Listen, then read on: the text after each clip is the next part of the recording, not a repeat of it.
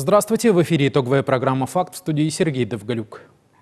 Подготовку миротворческих подразделений и их совместимость с вооруженными силами стран НАТО обсудили на саммите в Польше, сообщила пресс-служба Министерства обороны Казахстана, пишет Кастак. Подготовка миротворческих подразделений и их оперативная совместимость с вооруженными силами государств НАТО – эти вопросы были подняты на заседании министров обороны 28 стран Организации Североатлантического договора и 26 стран-участниц инициативы оперативной совместимости в Польше, говорится в сообщении Минобороны. В саммите НАТО приняла участие делегация Министерства обороны Казахстана во главе с заместителем министра обороны генерал-майором Талгатом Мухтаровым.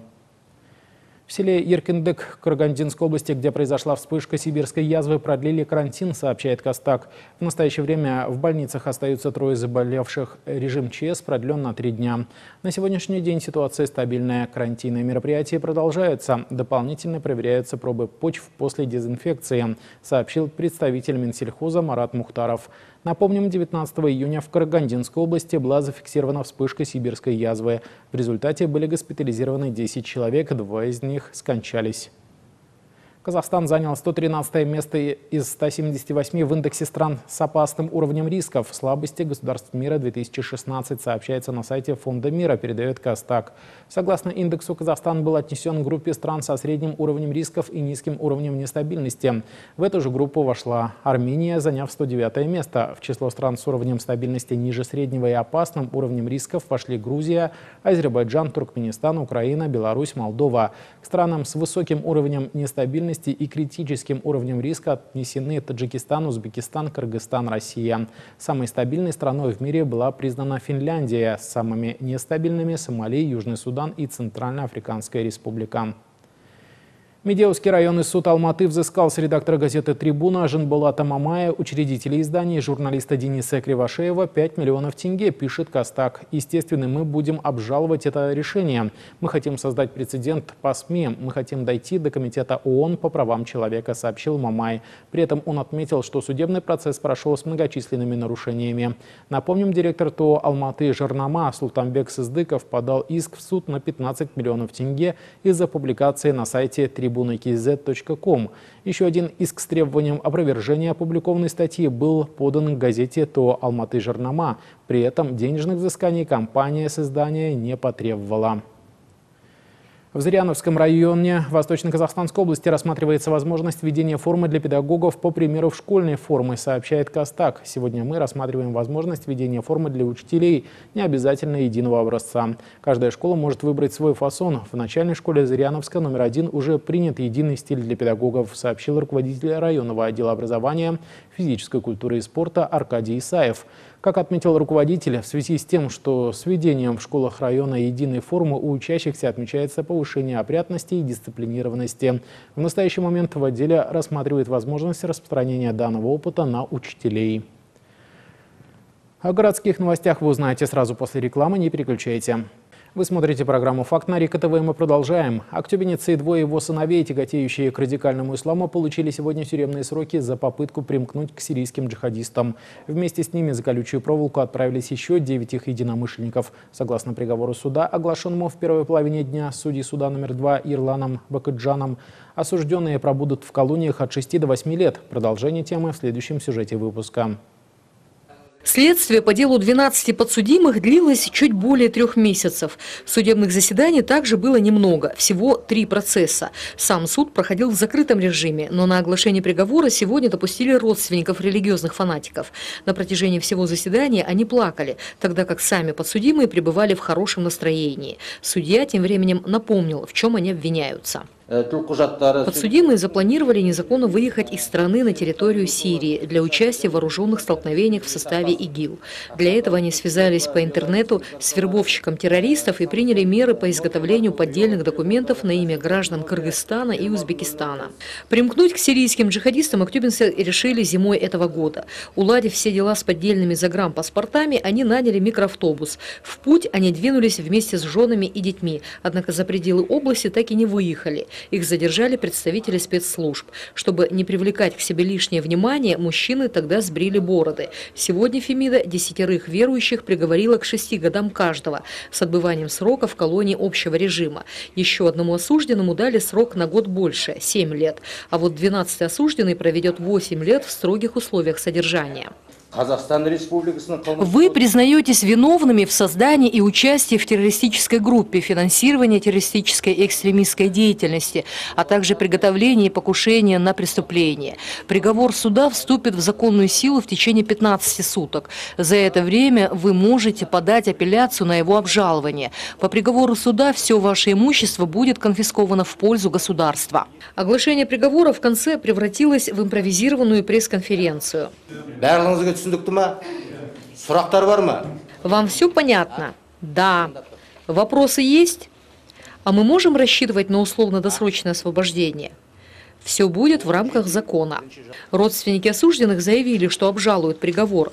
С самими верующими, получившими срок в будущем, будут работать теологи. Примечательно, что среди тех, кто отправился за колючую проволоку, есть отец и двое его сыновей. Акмарал Майкузов, Алексей Уразов, программа «Факт». Судебное следствие по делу господина Ундергенова подходит к концу. В специализированном межрайонном суде по уголовным делам начались прения сторон. Это заключительная стадия процесса. Свыше 70 томов уголовного дела, больше сотни опрошенных свидетелей, с десяток адвокатов, год расследования, два месяца судебного следствия, 30 страниц обвинения. В центре внимания Миржан Ундергенов, бывший депутат областного маслихата, глава ТО «Автопарк». Все точки над «и» расставлены, обвиняемые виновны, заявила гособвинитель Амангуль Жумагалиева. Она также призналась, что лично у нее это дело вызвало огромный профессиональный интерес. К тому же прокурора, похоже, впечатлил профессионализм господина Ундергенова. Ундергенов действительно является высококлассным специалистом в сфере автомобильных перевозок. И именно это качество дало ему возможность разработать простую и в то же время гениальную схему завладения бюджетными средствами, которые подлежали поступлению в бюджет. Деньги, которые, пошли, которые могли бы пойти в детский дом, деньги, которые могли бы пойти инвалидам. Однако данные денежные средства были похищены Ундергеновым как заявила гособвинитель, обвиняемому инкриминируется мошенничество в особо крупных размерах с хищением из казны более 4,5 миллиардов тенге, создание и руководство организованной преступной группы, вымогательство с угрозой применения насилия, легализация имущества, добытого преступным путем и незаконное лишение человека свободы, не связанное с его похищением. Это об экс-партнере обвиняемого Бауржане Перманове. Он выступает потерпевшим. Ербола Адилова, правую руку Миржана Унтергена, Романова судят за мошенничество и участие в организованной преступной группе. Асекин Жалина, Алимжан Молдобеков. Программа «Факт». Аким области Бердебек Сапарбаев проехал по основным местам выбросов сероводорода в городскую атмосферу. Поездка была организована с целью выяснить причины столь частых в последнее время наплывов на город устойчивого смрада. Посмотрев на состояние полигона ТБО и очистных сооружений, глава региона остался недоволен работой актюбинских коммунальных служб. Маршрут поездки руководителя нашей области начался с переезда через железнодорожный путь на промзону. Там начальник департамента экологии Жаксыгали Иманкулов рассказал об основных предприятиях, сливающих отходы в общую канализацию, а также о превышении предельно допустимого фона сероводорода в местной атмосфере. 70% загрязнения атмосферы города это вот приходится на долю этих трех предприятий АЗХС, ТЭЦ и это самые феррославный завод. Мы сегодня с вами посмотрим, э, какие объекты и что влияет на атмосферу города Ахтубе. Угу. Вот совместно с нашими департаментами. Мощность этой станции 93 тысячи кубических метров. А КОС принимает 103 э, тысячи кубических э, метров в сутки. И получается таким образом, вот она, наша промзона, оно, вот эта ветка принимает отсюда. Поэтому она ощущает очень большую нагрузку. Мы так предполагаем, здесь ну, технологов наших скоса нету, что здесь у нас технологически получаются залповые выбросы по э, э, газам. Далее глава региона посетил окраины города и поговорил с местными жителями об экологических проблемах. В частности, жильцы домов в районе Шанхая жалуются, что по вечерам здесь просто нечем дышать. Вот все здесь со мной специалисты посмотреть, что надо сделать, чтобы этого запаха поменьше. Вот запах, извините, действительно запах, нельзя вот поэтому форточки Все, открыть. вот поэтому. Он это Казахбайн, сейчас мы изучим, потом будем принимать соответствующие меры. Запах, запах страшный. Посетив также поля испарения, полигон твердобытовых отходов и канализационные очистные сооружения, Бердыбек Сапарбаев для подведения итогов поездки провел совещание в здании АУ «Акбулак», в ходе которого Аким выразил неудовлетворение работой компании «Таза-Кала» по содержанию городского свалочного полигона. Я считаю, что это первое э, упущение Акимата города. Второе э, упущение ТО Тазалх. Я уже вот новому Акиму говорил, об этом я неоднократно говорил и бывшему Акиму.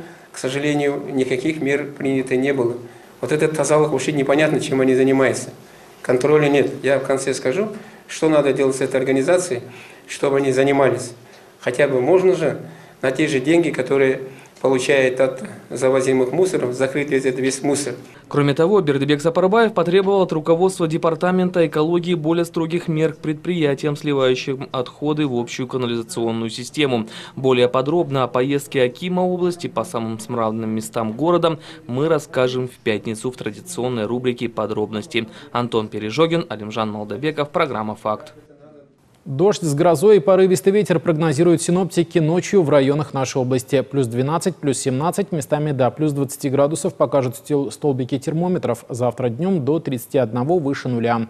Между тем в городе в ночь на среду ожидается переменная облачность. Плюс 13-15, ветер северо-западного направления до 12 метров в секунду. Днем воздух прогреется до 29 по Цельсию. Сегодня ночью по области местами дождь, гроза. Ветер северо-западный 9-14, при грозе порывы 18 метров в секунду. Э, температура ночью 12-17, местами 20, днем 26-31 тепла. Э, в городе переменная облачность, в первой половине ночи дождь, ветер северо-западный 7-12 метров в секунду, температура ночью 13-15, днем 27-29 тепла. Состояние жительницы Байганинского района, впавшей в кому после удара молнии, не улучшается. Женщина по сей день находится в коме, за ней присматривают врачи отделения реанимации БСМП. Напомним, несчастный случай произошел неделю назад во, во дворе частного дома. Из-за полученной электротравмы у 31-летней сельчанки поражены внутренние органы. Ее без каких-либо признаков жизни первыми обнаружили соседи. Поражение молнии был доставлен 4 июля с Байганинской ЦРБ в данное время с тех пор находится в реанимационном отделении больницы скорой медицинской помощи. Состояние остается крайне тяжелым. Получает соответствующее лечение. Транспортировка в данный момент не транспортабельная. Сотни актюбинцев в летний период страдают опасным сезонным заболеванием – аллергии. Она проявляется у детей и взрослых независимо от возраста и хорошо поддается лечению, если вовремя обратиться за помощью. Однако, если пустить процесс на самотек, оставив его без контроля, то негативные последствия не за горами, предупреждают врачи. Если для большинства жителей планеты лето ассоциируется с долгожданным отпуском на берегу моря, то другая часть населения ждет наступления тепла со страхом и ужасом. Причиной всему опасное сезонное заболевание – аллергия. Некоторые специалисты подразделяют недуг на три стадии – в период опыления деревьев, затем цветения злаковых трав и опыления сорняков. Те, кто уже не раз сталкивался с болезнью, в это время запасаются носовыми платками и, конечно же, терпением. Так просто болезнь не отступает. Люди, страдающие сезонной, да и вообще любой аллергией, часто просыпаются по ночам из-за дискомфорта и удушья, что мешает нормальному сну. Возникает нервозность и раздражительность. По словам актюбинских аллергологов, в день с подобными жалобами в больницу обращаются 5-6 человек. С аллергией шутки плохи. Она может иметь достаточно серьезные последствия, вызывая как легкие проявления конъюнктивита или ринита, так и развитие сезонной пульсовой бронхиальной астмы, которая имеет несколько стадий течения – легкую, среднетяжелую и тяжелую. Если аллергический процесс запустить, а многие пациенты обычно так и делают, может возникнуть уже более серьезная реакция в виде бронхоспазма, иначе бронхиальной астмы. Кроме того, в последнее время наблюдается широкое распространение такого вида аллергии, как пищевая. Заболевание возникает при нарушении работы желудочно-кишечного тракта, снижении иммунитета и наличии в организме паразитов. Если же вышеуказанные три пункта в норме, то больным следует обратить внимание на рацион питания. Исключить из меню орехи, цитрусовые, шоколад, яйца и рыбу. Отдавать предпочтение натуральным продуктам. Вместе с тем, говорят врачи, беспокойство сегодня вызывает и лекарственная аллергия аллергия. Но в этом случае провокаторами становятся сами жертвы. В большинстве случаев пациенты занимаются самолечением и принимают те или иные препараты без назначения врача. С такими диагнозами на стационарном лечении в ЖД-больнице находится свыше 20 человек. Айсулу Махмутова, Жаслан Жубаев, программа «Факт». Двухмесячная Маншук Маметова, которую в мае этого года жители Ясного обнаружила в выгребной яме, получает соответствующее лечение. Медики обнаружили отклонение в ее здоровье. У малышки выявлены сердечные недуги. Вместе с тем, несмотря на большое количество желающих удочерить ее, пока разрешения на это нет. Соответствующее решение после изучения документов претендентов комиссия примет в следующем месяце. На сегодняшний день Маметова Маншук у нас воспитывается с 20 мая 2016 года. Она за этот период набрала вес практически 2 килограмма. Сейчас у нее вес 5,156, рост 57 сантиметров. Девочка растет, э, набирает вес. Состояние девочки хорошее. Но дан, этот ребенок прошел э, медицинское обследование. Напомним, что новорожденная, которой позже было дано имя Маншук, была обнаружена во время полицейского рейда с участием нашей съемочной группы.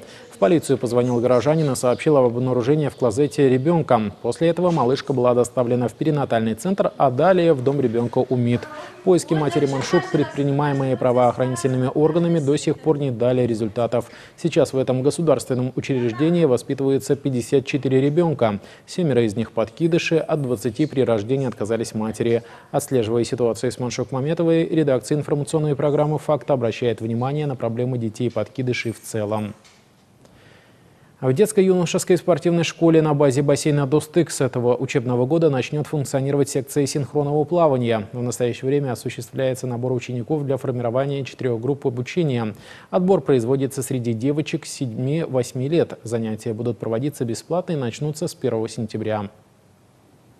А, в июле месяце на базе областной детской спортивной школы открывается группа синхронного плавания.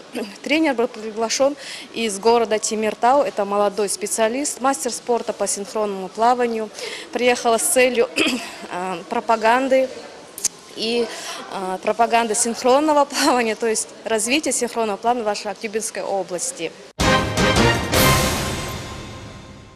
Это все новости к данному часу. Благодарю вас за внимание и до завтра.